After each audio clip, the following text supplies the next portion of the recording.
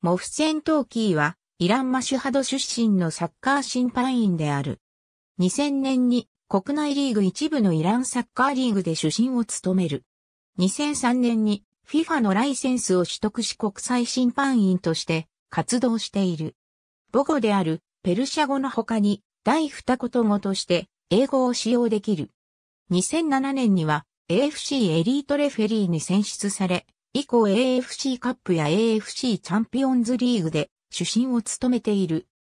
また、首都テヘランを本拠地とするエステグラルテヘランとピルズイ、テヘランが対戦し、国内最大のスタジアムであるアザディスタジアムが超満員になり盛り上がることで知られるテヘランダービーにおいて2009年にイラン人で初めて主審を務めた。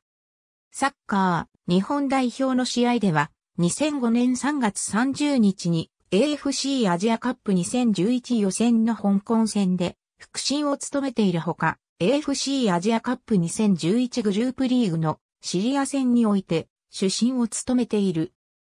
この試合では途中、長谷部誠からのバックパスを GK の川島英二がクリアしたボールを今野康之と競り合ったシリア人選手が前方にいたシリア代表の FW に向けてパスを送り、このボールに対して後方に誰もいない状態で川島がシリア代表 FW へチャージを行った。